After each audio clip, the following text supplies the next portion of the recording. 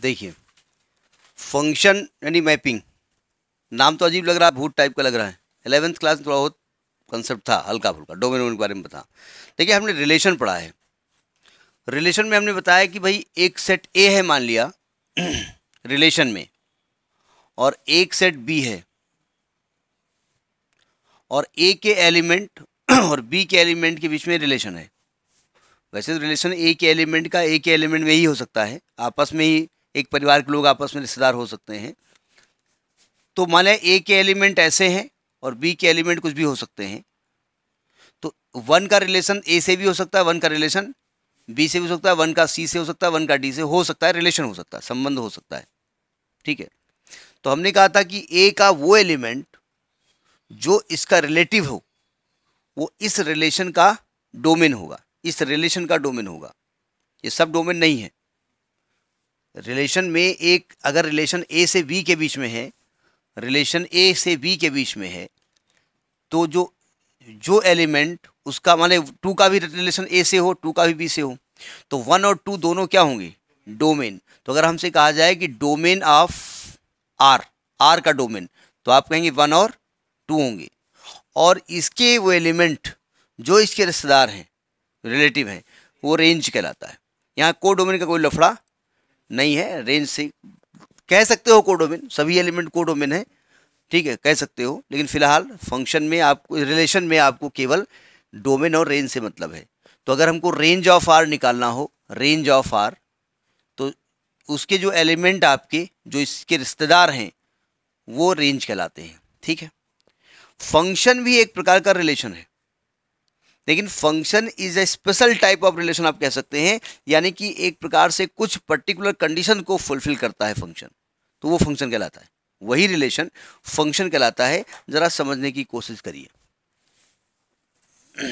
यानी अगर हमसे कहा जाए कि व्हाट इज़ फ़ंक्शन तो आप कहेंगे function is a special type of relation या relation fulfilling some some conditions some particular conditions relation जब कुछ पर्टिकुलर कंडीशंस को फुलफिल कर देता है तो उसको हम क्या कहते हैं? फ़ंक्शन कहते हैं। समझ में बात नहीं? अब जरा समझिएगा। फ़ंक्शन हमने कहा सपोज़ ए से बी के बीच में एक रिलेशन है। और रिलेशन भी कुछ पर्टिकुलर कंडीशंस को फुलफिल करता है। एक पर्टिकुलर रिलेशन है, उसका नाम क्या दिया गया? फ़ंक्शन तो कहेंगे f such that A to B is a function ठीक है? तो पहले समझ लेते हैं कि क्या क्या कंडीशन फुलफिल होना चाहिए। तो हमने पढ़ा है कि जैसे ये सेट ए है और ये सेट बी है। ए के एलिमेंट हैं वन टू थ्री और बी के एलिमेंट हैं ए बी सी डी बोलो, यही एग्ज़ाम्पल याद है क्या? वो पहले वन टू थ्री लिया था, यो वन टू थ्री लिया, वो कुछ भी आप थ्री फोर फाइव ले लो, कोई दिक्कत नहीं। पी क्यू आर एस ले लो, ठीक है? अगर हम मान लें एक्स टू वाई कर दें इसको, थोड़ा देखने में अच्छा लगेगा, लिखने में ठीक लगेगा। एक्स टू वाई कर दें। तो इसको लिखेंगे y is the function of x ये लिखा जाता है। Y is the function of x तो एक्स किसका एलिमेंट है? एक्स एक्चुअली इसके एलिमेंट है। और वाई किसका एलिमेंट है? वाई इसका एलिमेंट है। यानी एक्स यहाँ रखोगे, और जो रिज़ल्ट मिलेगा वो किसका एलिमेंट होगा? वाई का होगा। ठीक है? अब मान लिया वन का रिलेशन ए के साथ है तो लिखा क्या जाएगा? F one is equal to A ऐसा लिखा जाएगा। F one is equal to A ठीक है? इसका दूसरी लैंग्वेज है कि A is the image of one A is image of one A one की इमेज है। अगर मैं इमेज मान लेता हूँ तो मैं एक, अपने आप एक कंपेयर एक दिमाग में लगाता हूँ कि इमेज है तो यहाँ एक शीशा रखा होगा। शीशा रखा नहीं है ज़बरदस्ती रखना देना, शीशा ढूंढते रहो। ठीक है? तो एक एलिमेंट, एक व्यक्ति शीशे में अपनी दो इमेज नहीं देख सकता। एक व्यक्ति शीशे में अपनी दो इमेज नहीं दे सकता, यानी कि वन का एक फ़ंक्शन बी नहीं हो सकता। तो रिलेशन हो सकता है। तो रिलेशन ये कह रहा था कि इसके एक एलिमेंट के दो इमेज हो सकते हैं, तीन इमेज हो सकते हैं। लेकिन फ़ंक्शन क्या कहता है कि डोमेन के हर एलिमेंट की इमेज डिस्टिंक्ट होनी चाहिए। यानी एवरी एलिमेंट ऑफ़ डोमेन यानी यहाँ पहली कंडीशन यहाँ क्या हो गई कि एवरी एलिमेंट ऑफ़ डोमेन अभी डोमेन के बारे में बात कर, बाद में बात करेंगे। Every element of domain have distinct image distinct image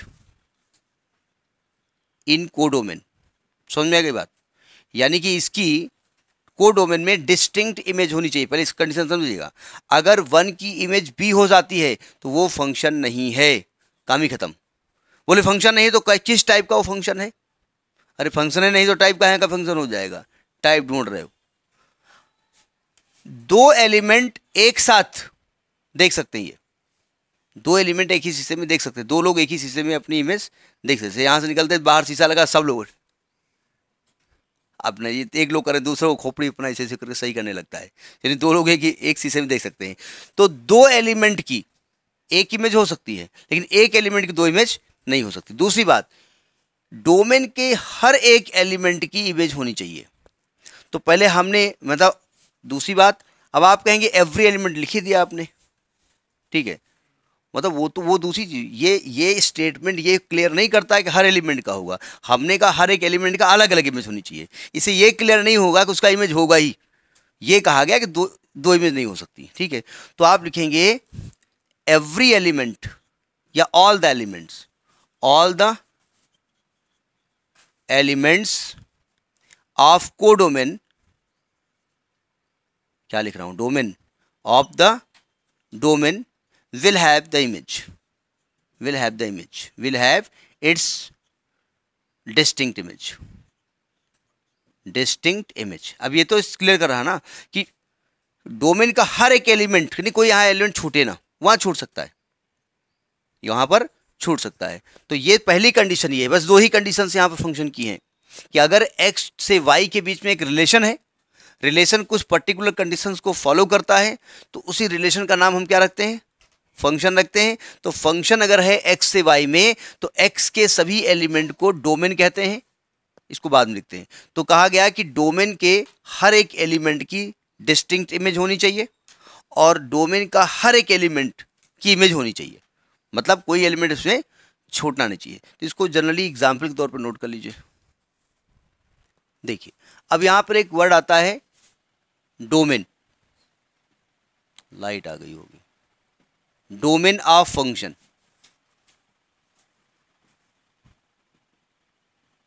Domain of function क्या होता है? देखिए ध्यान से। अगर हम मान लें कि f such that x to y be a function be a function such that y is equal to f x अगर y is equal to f x होगा तो आप समझ जाएँगे x किसका एलिमेंट इस एक्स का डोमेन का। वाई किसका एलिमेंट को डोमेन का। तो एक्स के सभी एलिमेंट क्या कहलाते हैं? ये कैपिटल वाई लिखिएगा। एक्स के सभी एलिमेंट कहलाते हैं डोमेन ठीक है? तो आप लिखेंगे डोमेन इसी के साथ दूसरी हेडिंग क्या लिखी जाएगी? को डोमेन इतने ठीक है। तो आप लिखेंगे all the elements of x all the elements of x are known as domain. Known as domain of function domain of function ये फ़ंक्शन के डोमेन कहलाते हैं। इसको डोमेन ऑफ़ फ़ंक्शन को कहीं कहीं पे डीएफ लिखा रहता है। डोमेन ऑफ़ फ़ंक्शन तो डोमेन ऑफ़ फ़ंक्शन किसके इक्वल हो जाएगा एक्चुअली में? एक्स के इक्वल हो जाएगा। अब आप कहेंगे उसमें क्या डेफिनेशन चेंज थी? देखा जाए, उसमें भी यही डेफिनेशन थी। अगर मैं रिलेशन की बात करूँ तो रिलेशन की डेफिनेशन भी यही थी। बोले, ये तो नहीं थी। एक्चुअली में रिलेशन में वो एलिमेंट लिए जाते हैं, जो उस उस वाले एलिमेंट के रिलेटिव हों, और यहाँ सभी होते हैं रिलेटिव इसलिए पूरा सेट लिया जाता है, बस ये अंतर है। अच्छा दूसरी बात। वाई के सभी एलिमेंट क्या कहलाते हैं? डोम को domain all the elements of all the element की बात हो रही है। वो चाहे उसके रिलेटिव हो, चाहे हो, ना हो फ़ंक्शन बना रहे हो या ना बना रहे हो। यानी अगर यहाँ डोमेन की बात करें, इस एग्ज़ाम्पल में तो डोमेन क्या आपको कहलाएगा? One two three all the elements of y of y are known as are known as codomain इसको हम कोडोमेन कहलाते हैं। इसको कोडोमेन कहते हैं। ठीक है? तो इसको को डोमेन अगर हम निकालें को डोमेन तो क्या होगा? ए बी सी डी अगर यहाँ एग्ज़ाम्पल ले लें तो क्या आएगा? ए बी सी डी इसका को डोमेन होगा। ठीक है? इसमें एक और वर्ड आएगा। इसी में बढ़ा देते हैं रेंज अभी ना पढ़ना डोमेन अपान को डोमेन अपान रेंज लिखा हुआ है। वो तीन डेफिनेशंस हैं। ठीक है? अब देखिए रेंज क्या होती है? को डोमेन की वो एलिमेंट जो डोमेन के एलिमेंट के इमेज हैं। Those elements of codomain those elements of codomain which are images, which which are image, images of the elements of domain. Elements of domain are known as known as range इसको range कहते हैं। क्या ज़रूरी है कि codomain के सभी element उसके इमेज हों? तो यानी कि हम कह सकते हैं कि डो, रेंज रेंज ऑफ़ फ़ंक्शन लिख दें, आर एफ़। लिख सकते हैं। सर अब पूरा डेफिनेशन लिखो आर एफ़ ना समझ पाओ तो रेंज लिख दो ना। तो रेंज यहाँ पर क्या है? ए बी है। यानी अगर हम ये कहना चाहें तो हम कहेंगे range of function is the subset of codomain ये इसका सबसेट होता है। ठीक है? ये इसलिए लगा दिया कि इक्वल भी हो सकता है वो। सबसेट में इक्वलिटी का साइन भी यहाँ पर हो सकता है। ठीक है? तो ये आपका फ़ंक्शन क्या होता है? फ़ंक्शन की डोमेन क्या होती है? फ़ंक्शन की कोडोमेन क्या होती है? कि फ़ंक्शन का कोडोमेन क्या होता है? फ़ंक्शन की कोडोमेन क्या होता है कि फ़ंक्शन का कोडोमेन क्या होता है? की का? कैन की का? कैन डिसाइड लड़कियाँ की लिख दें? फ़ंक्शन की कोडोमेन और लड़के लिख दें फ़ंक्शन का कोडोमेन। हमारे टीचर थे, जब वो पढ़ाना होता था जब ऐसा कुछ होता था कि का लिखे कि की लिखे? बोले, लड़के लिखे का, लड़कियाँ लिखे की। हाँ बूढ़े लिखे का की? और बूढ़ो लिखे का का? ऐसा थोड़ी होता है। ठीक है। जैसे था नहीं कि, कि एक एक गाँव में एक लोगों को काका का पढ़ाया जा रहा था। तो उसको पढ़ाया गया पढ़ो का और पढ़ नहीं पा रहा था। कहीं पढ़ो का पढ़ नहीं पा रहा था। तो सामने वाले टीचर उसको दो घंटा पढ़े बोले काका अगर हम का पढ़ ले तो का का हम पढ़ी तो ना हम का पढ़ नहीं पाए मैं का पढ़ नहीं पा रहे और हम मार रहे हो। कहन हाँ यह बात सही है। जब मारा गया तब समझ में आवा कि कभी कभी रियल वैल्यूड फ़ंक्शन कह कहलाता है। कभी कभी एक वर्ड आएगा रियल वैल्यूड फ़ंक्शन तो उसमें कंफ्यूज मत होइएगा। Valued function real valued function का मतलब होता है कि जो फ़ंक्शन है ना, वो real number to real number है। यानी डोमेन के एलिमेंट भी रियल नंबर है। और को डोमेन के एलिमेंट भी रियल नंबर है। और रियल नंबर की पहचान हमको बचपन से आती है कि भैया रूट के अंदर निगेटिव ना आए और चाहे जो आ जाए। One two three four under root two one upon two zero कुछ भी आ जाए। सब रियल वैल्यूड फ़ंक्शन है, ठीक है? तो डोमेन समझ में आ गया रेंज समझ में आ गया। अब इन्होंने पहली में रेंज डोमेन की बात की है, वो हम बाद में बात करेंगे। पहले हम फ़ंक्शन के टाइप्स बता दें, ठीक है? मतलब डोमेन रेंज की चूँकि इंट्रोडक्शन पार्ट है तो पहले हम नहीं पहले हम पूरा टाइप्स बताएँगे, तब हम बात करेंगे। नोट कर लिया? अब देखिए, हम फ़ंक्शन के टाइप्स के बारे में बात करने जा रहे हैं। सावधान। बस टाइप्स में ही सब कुछ लफड़ा है। Types of function types of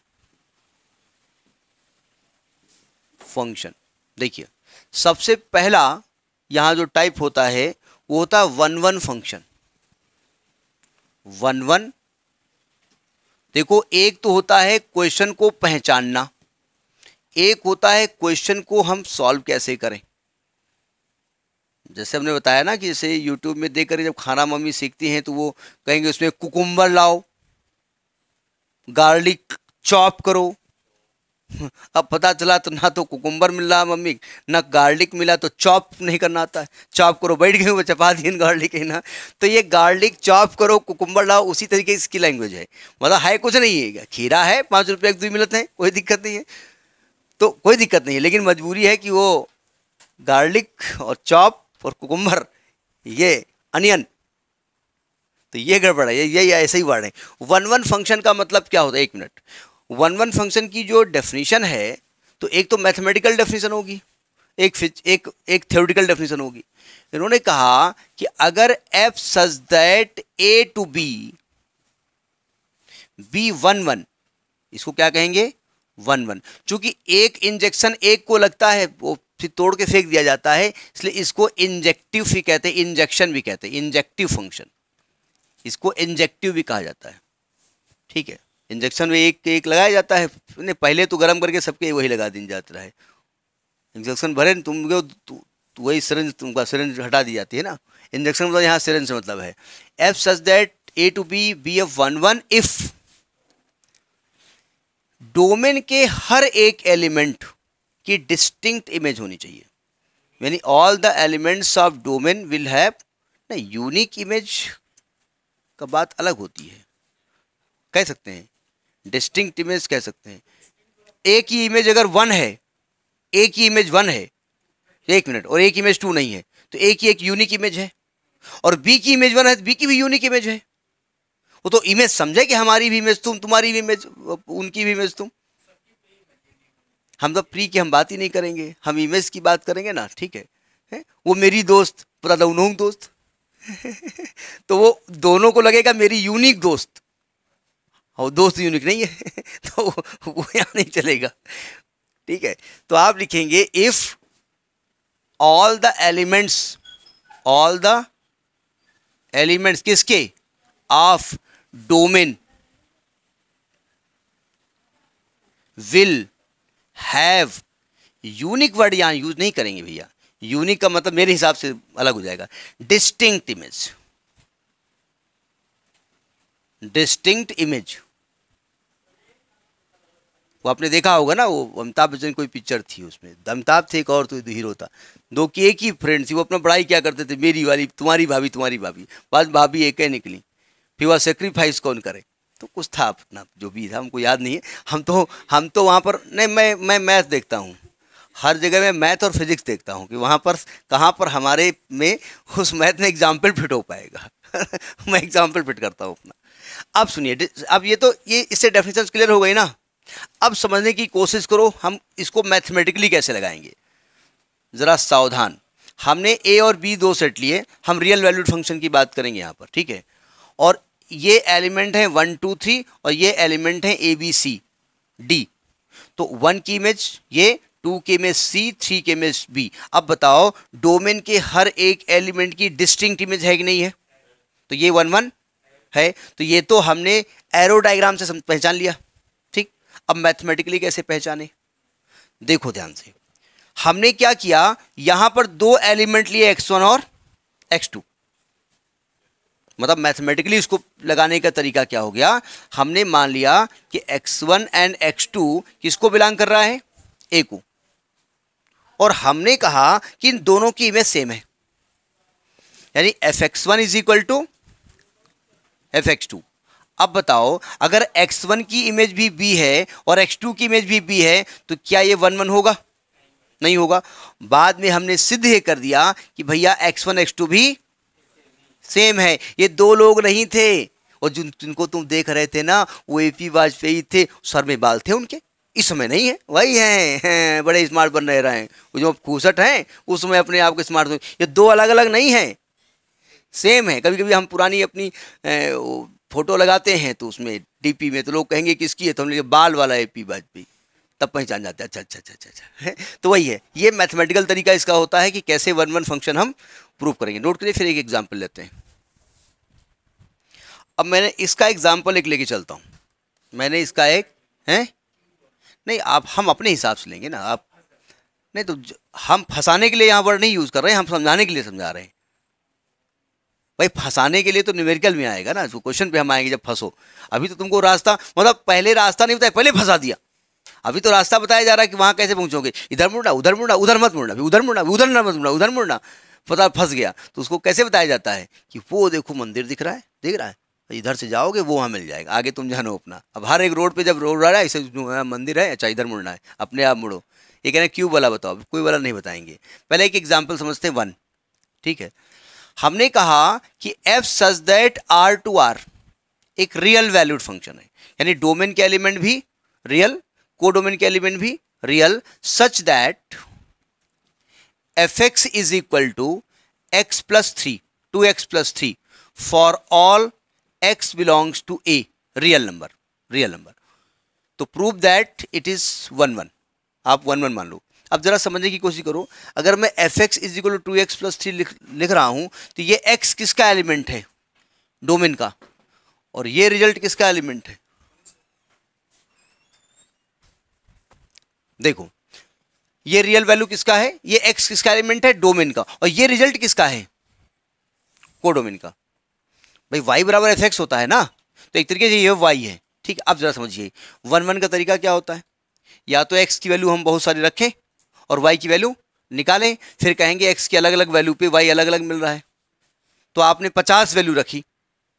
तो आपने प्रूफ कर दिया, पचास वैल्यू दिखा दी, क्योंकि आपको एक ही क्वेश्चन आता था, और क्वेश्चन आता नहीं, तीन घंटे करें क्या? तो पचास वैल्यू पे वो एक्स को वन रखा टू रखा थ्री रखा, पचास रख दिया हमने। हमने कहा, लियो वन बाई टू नहीं रखो वन बाई टू की वैल्यू वही रहेगी, क्योंकि यहाँ तो इन्फिनिटी नंबर है ना। तो हमने क्या किया? हमने इसके दो एलिमेंट लिए। देखो मैथमेटिकली कैसे प्रूफ करेंगे? Let x one comma x two belongs to real domain क्योंकि दो रियल है ना इसलिए हमको क्या लिखना पड़ेगा? डोमेन कैसे हमने किया? Such that f x one is equal to f x two हमने कहा दोनों सेम है। जबकि कहा है क्या कि दो एलिमेंट के इमेज सेम नहीं हो, सकते। ठीक है हमने एक इसको कॉन्ट्रेरी मेथड कॉन्ट्रोडिक्शन मेथड आपने पढ़ा होगा। जैसे नाइन्थ टेंथ में एक क्वेश्चन आता है root two is a irrational या रेशनल तो आप उसको इरेशनल प्रूव करना होता है आप उसको क्या मानते हैं? रेशनल और बाद में एक लॉजिक आ जाती है लॉजिकली प्रूफ हो जाता है कि वो इरेशनल है। तो हमने दोनों की इमेज सेम कर दी। तो इसका मतलब क्या होता है? अगर एफ़ एक्स वन यहाँ निकालोगे तो ये क्या निकलेगा? Two x one plus three और ये क्या आ जाएगा? Two x two plus three तो यहाँ पर क्या होगा? X one is equal to x two proof हो गया। मतलब क्या हुआ? आप कहेंगे कि जो यहाँ से दो element x one x two मान रहे थे, और उनकी इमेज सेम मान रहे थे ना, वो भाई साहब दो एलिमेंट नहीं थे। क्योंकि वो तो सेट है। ये तो सेट होते हैं ना और सेट में एलिमेंट का रिपीटिशन का कोई मतलब नहीं होता।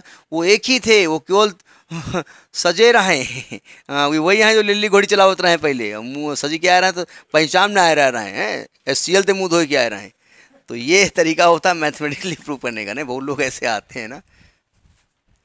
अब एक क्वेश्चन उठता है कि भैया जब इक्वल कर दोगे तो अपने आप वो तो वैल्यू इक्वल आनी आनी है। मैं दो एग्ज़ाम्पल और लेता हूँ और एक वाजपेयी जी क्यूब वाले में फंस रहे हैं क्यूब वाला क्यूब वाला पता नहीं कौन सा बता रहे हैं, वाला। देखो, एक और एग्ज़ाम्पल लेता हूँ। आप कहेंगे, भाई, इस प्रकार से अगर आप इक्वल टू कर देंगे तो x one is equal to x two ही तो आने वाला है। नहीं, ऐसा नहीं है। जैसे मैं एक एग्ज़ाम्पल ले लूँ एफ़ एक्स बराबर एक्स स्क्वायर अगर मैं एग्ज़ाम्पल ले लेता हूँ तो आपने अगर उसी तरीके से लगाओगे और f x one is equal to f x two करोगे तो x one square is equal to x two square तो x one is equal to भाई साहब प्लस माइनस एक्स टू आएगा ना? नहीं आएगा। यानी अगर मैं डोमेन का वन ले लेता हूँ तो वन की इमेज वन होगी और डोमेन का माइनस वन ले लेता हूँ तो माइनस की इमेज भी तो माइनस वन का स्क्वायर वन ही आना है। तो आप क्या देख रहे हैं कि भाई दोनों की इमेज तो सेम है, लेकिन दोनों एलिमेंट सेम नहीं है। अलग अलग एलिमेंट हैं। तो ऐसा नहीं कि इक्वल टू करने से काम ही चल जाएगा। अब इन्होंने कहा क्यूब वाला ले लो। तो मैं इसमें डायरेक्ट क्यूब रूट ले लूँगा, लेकिन अगर मैं, आपको कन्फ्यूज़न हो रहा हो तो मैं उसका, उसको मैं सॉल्व करने की कोशिश कर रहा हूँ, सावधान। देखिए, जैसे ये एग्ज़ाम्पल एक और चाहते हैं कि भैया एफ़ एक्स बराबर एक्स क्यूब लेके बताओ। वाजपेयी जी, बहुत बड़े तुम तोप हो। तो मैं बताता हूँ। देखो एक्स वन एक्स टू क्या है? रियल नंबर और f x one is equal आपने क्या कर दिया है? एफ़ एक्स टू तो x one cube is equal to x two cube तो आप डायरेक्ट क्यूब रूट ले लीजिए। तो x one is equal to x two आप कहेंगे, हम क्यूब रूट तो नहीं लेना चाहते, हम फैक्टर करना चाहते हैं। करो फैक्टर इसको इधर ले आओ। तो x one cube minus x two cube is equal to zero वैसे डायरेक्ट आप क्यूब रूट लेकर के x one is equal to x two prove कर देंगे। अब आपको पूरा बता दे रहे हैं। अब आप फैक्टराइज कर दो आप a cube minus b cube तो ये करो, क्या आएगा? X one minus x two आएगा। और दूसरा आएगा x one square plus x two square plus x one x two आएगा। सही कह रहा हूँ, मैं नहीं कह रहा हूँ। तो दो फैक्टर हो गए। या तो ये भाई साहब ज़ीरो होंगे, या तो ये भाई साहब ज़ीरो होंगे। तो हमने इसको ज़ीरो कर दिया। हमने कहा x one minus x two बराबर ज़ीरो। तो एक्स वन की वैल्यू क्या आ गई? एक्स टू आप कहेंगे, ये भी तो हो सकता है कि भाई ये दोनों ज़ीरो ना हो। ये ज़ीरो हो सकता नहीं नहीं हो सकता है। आप तो दोस्ती अब लिख दियो तो मैं इसको ज़ीरो करके देखता हूँ, क्या लफड़ा आ रहा है। तो मैं इसको ज़ीरो करता हूँ। X one square plus x two square plus x one x two बराबर ज़ीरो। अब ये क्वाड्रेटिक इक्वेशन किसमें है? एक्स वन में भी है और एक्स टू में भी है। अगर मैं एक्स वन को क्वाड्रेटिक मान करके यहाँ से एक्स वन की वैल्यू निकालता हूँ तो एक तो एक्स टू के टर्म में आएगी और एक्स टू गुस्सा जाएगा कि कोई एक्स वन तुम्हारे रिश्तेदार हैं वाजपेयी हैं, शुक्ला भी तो हो सकते हैं। तो आप एक्स टू को क्वाड्रेटिक मान के लगाओगे। तो एक्स एक्स वन गुस्सा जाएगा। तो दोनों को खुश कर दो। सिंगल क्वाड्रेटिक इक्वेशन निकालिए। तो एक्स टू स्क्वायर से डिवाइड कर दो। तो ये x one square upon x two square plus x one upon x two plus one बराबर ज़ीरो आएगा। अगर मैं एक्स टू स्क्वायर डिवाइड कर दूँ और मैं x one upon x two को कुछ मान लेता हूँ। मैं x one upon x two को मान लेता हूँ। ए मान लेता हूँ। काय टी माने हम। ए मान लेते हैं। टी थोड़ा डिफ, लगता है डिफ्रेंसिएशन का रिश्तेदार है। देखो डिफ्रेंसिएशन में टी है यू है वी वहाँ माना जाता है। और इधर जो है, जैसे ना कहीं पर सिंह, विंग ऐसे लिखे जाते हैं सिंह के नाम देखो, प्रताप लगा होता है उसमें सिंह लगा होता है। हम लोगों हम लोगों में क्या लगा होता है? प्रकाश लगा होता है। ठीक है? अब बोला की बात कोई मिक्स नाम लिख दे। प्रताप, प्रकाश, सिंह, खान, मोहम्मद। जहाँ जैसा माहौल, देखो वहाँ नाम बता दो। फिर मोहम्मद खान। बीच का गायब कर दो। प्रकाश प्रकाश जी। अच्छा अच्छा। प्रताप जी, हमें कुछ दिन बाद ऐसा रखना पड़ेगा। कि किसी इलाके से गुजरोगे क्योंकि ऐसा माहौल जो बन रहा है, उस माहौल में दिक्कत होगी जाकर के। हम तुमका पाई तो काट डाली तो हमका पाओ तो काट डालो। पता चला सब निकल ही नहीं पा रहे। रखो यहाँ वैल्यू तो ये a square plus a plus one बराबर ज़ीरो है। भाई साहब ये क्वाड्रेटिक इक्वेशन हो गई। तो हमें किसकी याद आ रही है? धराचार की। तो ए इज़ इक्वल टू क्या होगा? Minus b plus minus under root b square minus four c point two a, ये निगेटिव आ रहा रूट के अंदर। तो ये वैल्यू इमेजरी मिलेगी ना? तो इमेजरी मिलेगी नहीं? ये ये ये कंडीशन पॉसिबिलिटी नहीं है। जब ये ज़ीरो होने की पॉसिबिलिटी नहीं है तो सिंपल सा यही यही वैल्यू पॉसिबिलिटी है। तो हम बेहतर ये है उसका। अब ये कहेंगे पावर एलेवन हो तो ऐसी पावर वैसे खतरनाक आएगी नहीं। लेकिन मान लिया तो आप एलेवेंथ रूट ले लीजिएगा। क्या करोगे? मजबूरी है। स्क्वायर रूट चूँकि मजबूरी हो सब सस्ता बद्दा क्वेश्चन है। तो समझ में आ गया ना कि ऐसा क्यों किया आपने? ठीक है? तो ये आपका हो गया आन टू फ़ंक्शन फ़ंक्शन क्या होता है और आन टू फ़ंक्शन क्या होता है? कल आन टू के बाद बाद आंटी वंटी और हवाएँगी आंटी मामा, नाना सब बात की जाएगी। ठीक? ओके